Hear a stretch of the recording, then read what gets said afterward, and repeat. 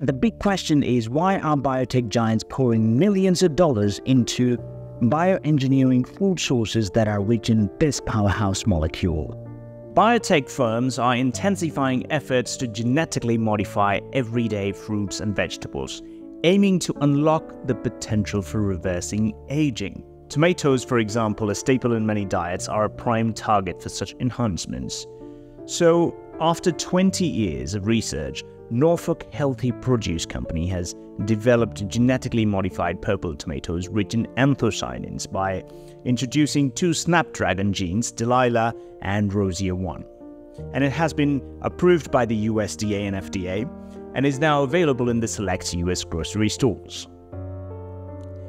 Two decades of research into empowering tomatoes to produce anthocyanins is significant, given their daily consumption compared to berries like blueberries, blackberries. If you can afford it, consume a recommended dose of purple and red berries daily for the next six months to see what effect it has on your body. So let me tell you which ones are the best. Berries such as strawberries, blueberries, um, blackberries, and red currants are a rich source of anthocyanin, but the highest content is found in mulberries uh, elderberries and chokeberries. A study published in Nature found that mice fed anthocyanin rich foods lived 30% longer than those that were not. So you could live 30% longer. But it is not just about extending lifespan, it's about enjoying a healthy, disease free life. So, what if consuming anthocyanin rich foods could improve the quality of life by 30%? But is this really possible? Let's dive in and find out. Oxygen has a dual nature. While it supports life, it comes with a cost. That is, aging. Oxygen isn't solely to blame for aging. In fact, our bodies have evolved to utilize oxygen in a manner that contributes to the aging process. Let's look inside the oxygen molecule to uncover its dark secret. This is the molecular orbital energy level diagram for O2, molecular oxygen. It has 16 electrons. The last two electrons are located in a different pi antibonding orbitals. These two unpaired electrons have the same parallel spins and they qualify ground state oxygen molecule to be a biradical. The mitochondrial energy transport chain produces superoxide anion radical, hydrogen peroxide, and enormously reactive hydroxyl radical. Because they have an extra electron, they are so reactive all the time. When present in large quantities, they induce oxidative stress, causing significant damage to cell membranes, DNA, lipids, and proteins within organelles. This damage contributes to aging and other chronic diseases such as cancer, cardiovascular diseases, and neurodegenerative diseases. So now that we've met the villain, which is reactive oxygen species, let's introduce our hero, anthocyanins. One of the most fundamental principles of biology is that structure determines function. The arrangement of something enables it to perform a specific role. This concept is evident at all levels of biological organization, from atoms to biosphere. So, the secret to being a powerful antioxidant lies in the structure of anthocyanins. They consist of a fused benzopyrylium core and an additional B ring. The type and color of anthocyanin is determined by these alkyl groups R1 and R2. For example, if I put OH here and here, it becomes delphinidin, which is found in pomegranate. And you know how healthy pomegranate is. If I replace this OH with H, it becomes cyanidin, which is found in red berries. ROS, our villain, has an extra electron, and that is why it is so angry and reactive all the time. And our hero anthocyanins have alkyl groups that can donate hydrogen atoms to the villain and neutralize them. And by doing this, they become orthoquinones.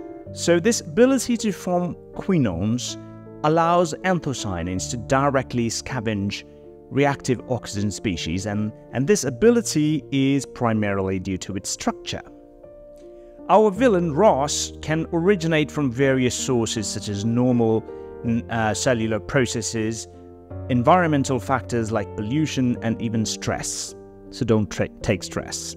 NADPH oxidase is the prevalent source of the radical superoxide anion, which is formed when molecular oxygen accepts a single electron supplied by NADPH during cellular respiration. Most of the superoxide anion is dismutated into the hydrogen peroxide by superoxide dismutase enzyme.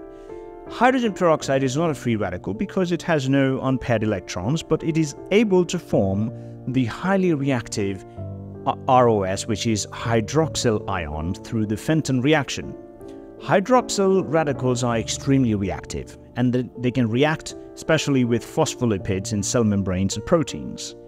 In neutrophils, hydrogen peroxide in the presence of chloride and MPO can be converted to hypochlorous acid, which can damage cellular proteins.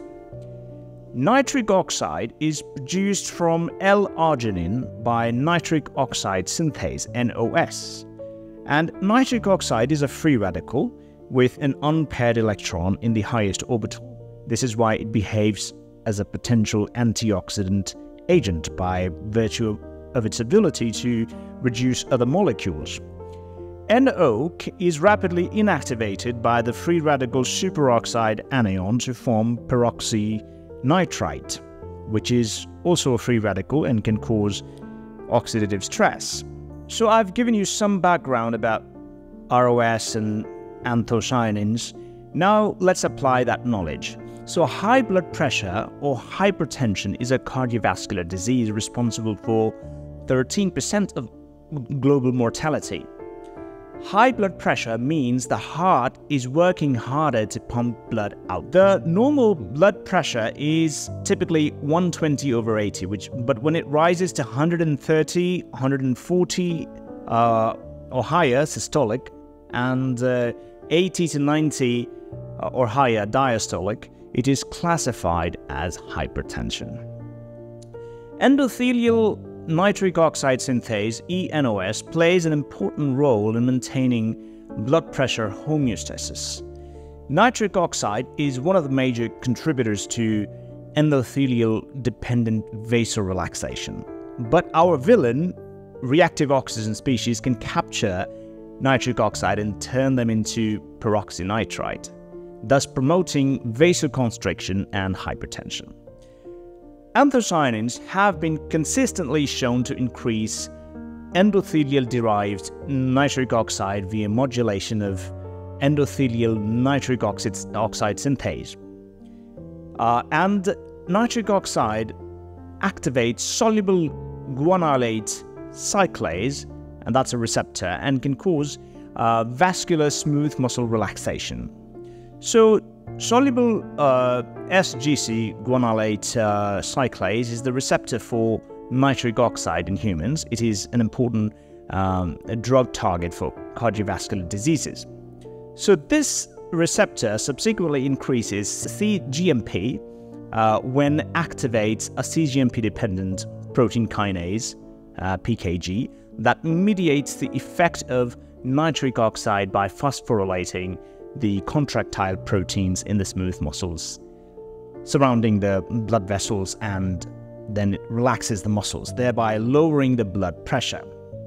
So, this is how anthocyanin rich food combat aging and they boost heart health and can increase the quality of your life when uh, you consume them daily.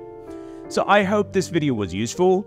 Consider subscribing to this channel, and I'll see you in the next video.